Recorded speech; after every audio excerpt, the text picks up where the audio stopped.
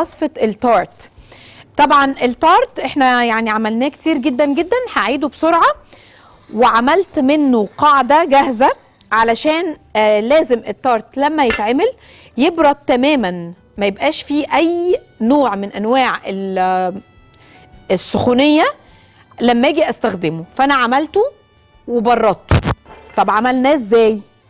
لعجينة التارت محتاجين واحد وربع كوباية من السكر ال- الناعم مش البودرة يعني ناعم بس حبيباته ناعمه يعني. 284 ملي من الكريمة أو 250 ملي من الكريمة مش هتفرق كتير. ربع يعني كيلو. معلقة صغيرة من الفانيليا. وممكن نحط سكر بودرة وممكن ما تحطش فأنا مش هحط صراحة.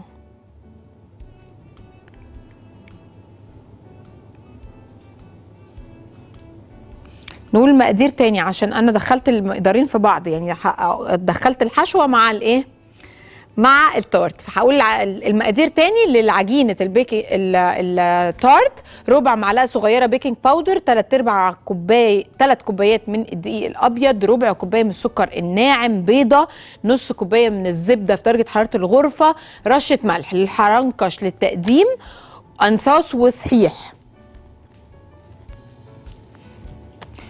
وعندنا للحشوة 450 جرام من الحرنكش آه، ثلاث بيضات آه، 284 ملي من الكريمة 100 آه، جرام من السكر وعندي معلقة صغيرة من الفانيليا وإذا حبيتوا في رشة سكر بودرة للوش عشان تديني لون. واحد هعمل العجينة. زبدة بيض رشة البيكنج باودر سكر هضرب ده الأول مع بعضه. بسم الله.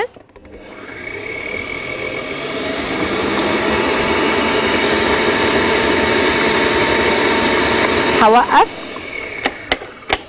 هنزل الدقيق. طبعا اللي عجينه التارت ما بتتعجنش يا دوبك تتلم علشان ما تطلعش ناشفة.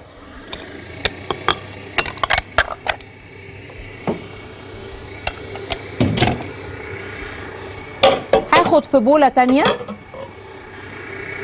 البيض. السكر. الفانيليا. وهضرب. المقدار ده كويس جدا.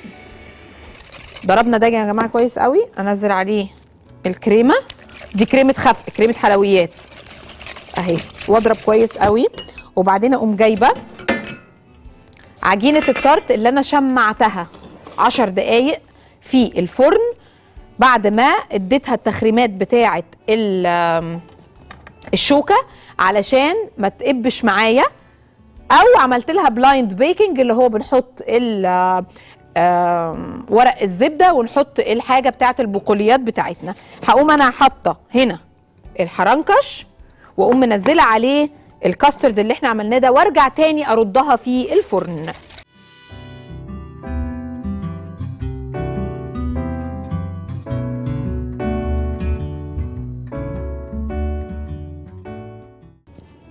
إحنا حطينا هنا مقدار العجينة.